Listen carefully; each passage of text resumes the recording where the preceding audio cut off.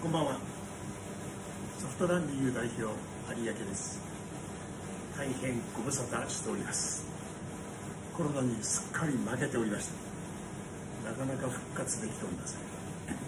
まあいろいろね人生いろいろあるんでまあしょうがないんでしょうけどもちょうどうちくらいの規模、まあ、うちそんなに大きくはないんですけども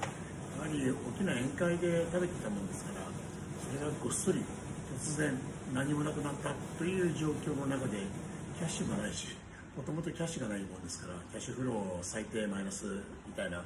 会社なもんですから、まあ、当然ダメですよねみたいなところなんですけども。まあそれはともかく今回見えないでしょうけどもそれでもステーキというステーキ屋を突然始めました。本当はもう先々月くらいっていうか6月にはねもう始める準備はできてたんですけどもなかなかそのいいまあ安く出したかったもんですからいい陸が見つからない。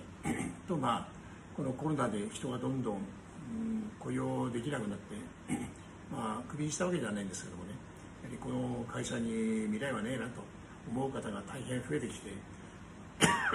ナンパ船からねネズミが逃げるようにみんなどっかいなくなっちゃった、まあ、いますよ。まだいっぱいいるんですけども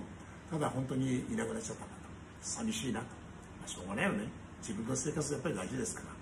僕は一切そういうのね止めることもできないしまあここよりもねいい条件のところがあるんだったらどんどん行ってくださいと。皆さんの人生ですからね僕は一生あなたの面倒見るわけにはいかないですから、ね、申し訳ないけどもじゃあそういうふうにしてもらえるとありがたいです。というだけの話なんですね。本当にありがたいことですね。えー、それで今日はねそのステーキ。ステーキとは何つかとかいうことを言うつもりはないですけどもここは栃木那須っていうのはね栃木県にあるんですけども栃木というのは実はステーキの聖地です。日本で多分ナンバーワンの聖地です。というのも、えー、関東の方はね、あのー、ご存知でしょうけども、えー、宮ステーキっていうね昔、あのあって今今もあるんですよ。今もあるんですけどもまあ一回ガーンって伸びてドーンといっちゃったもんですから今なかなか、えー、宮ステーキそのものはあるんですけども、えー、某なんとか関連会社に全部買収されちゃいまして今まあやってはいるんですけども僕らが思ってる宮ステーキのあの華やかな時代。いやうちのね子供40歳と、まあ、38歳とかねいるんですけどもその子たちの昔それこそ30年以上前の誕生日の最大のごちそうは宮ステーキです。で宮ステーキ行くとこういうボックス席にね家族こう4人であうち4人だと思うんですが4人で座って今日は子供の誕生日なんですよ。でまあ言う言わないですけどまあなんとなくはありますよね。そうすると何やってくれるかっていうとポラロイドで写真撮ってくれてそれをくれるんですよ。あの当時ねポラロイドまだ1枚何百円もしましたからすごい嬉しい。で何月何日、ね、お誕生日で来ましたみたいなね。それを白ペンでこう書いてくれて。多分ね今でもうちありますよ。あのうちのこういうステレオとかね昔ステレオ懐かしいでしょ？ステレオあるんですようちまだでとかね CD とかね、えー、カセットもありますから。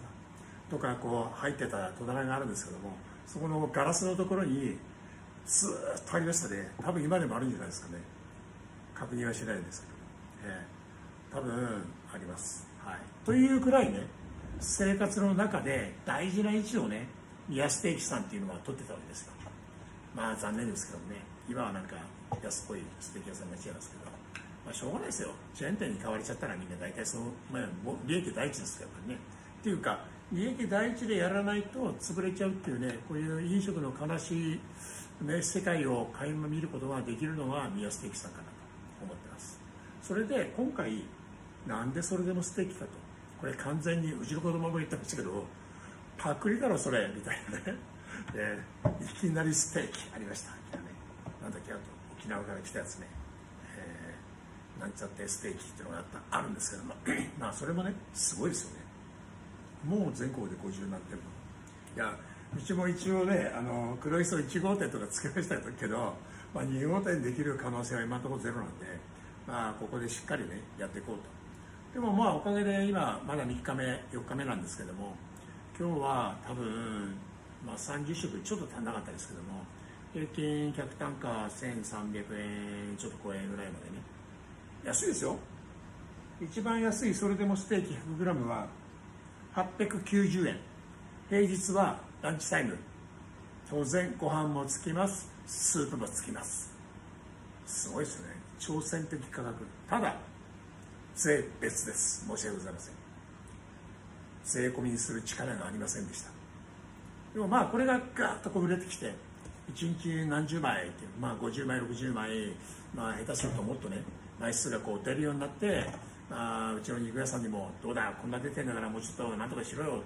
言えるようになったらばもしかすると税込みで890円っていうねその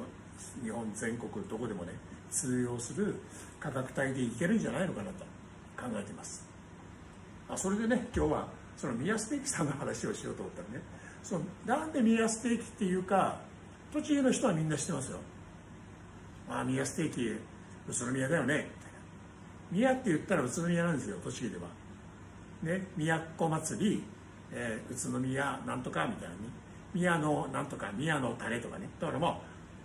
ステーキのタレって言えば僕らはもう宮のタレですからジュッとかけてくれてちょっと甘くてね美味しいみたいなね。ご飯にかけても美味しいよと。それでご飯いっぱい食べて、えー、肉でいっぱいもう一杯食べるみたいなね。そういうタレなわけですよ。大変食べやすいし今でもねスーパーでも売ってますよね多分、はい、ネット通販でも売ってるし。でその宮ね本当に宇都宮の宮のタレ。だからねそれぐらいそれ多分関東には広がって九州まで行ったんだけどそこの辺で負けた。ああれが小島電機か、まあ、小島電機もちょっと弱かったね。栃木決してあの産業的に 北関東でねまあ北関東のその電気の戦い。まあ結局群馬の山田電機買って、まあ、ケーズ電機はまだ残ってて、まあ、小島はやっぱりちょっとビッグと一緒になってねいろいろして。やっぱりちょっと商売下手だな。っていうのはあるんですどどうしてもこの年以降ちょっと商売下手なんでなかなか大きくなりませんけどただいいものを持ってますよね非常に、うん。ね、だからそういうものをねもう一度僕はね復活させたいと。ただパクっただけじゃないですよと。これ別に後付けの言い訳じゃないですけどもやっぱりやっぱりステーキって言ったら栃木だろうと。いうことをねいうことをやっぱりステーキナンバーワンは栃木だよということをぜひねもう一度全国の皆さんにね分かってもらいたいなっていうのもねそのちょっと1%くらいこうあるわけですよ。まあなんとか食べていけないっていうのはまあ 99%1% はそういう夢もあるんでぜひね頑張ってやっていきたいなと思ってます。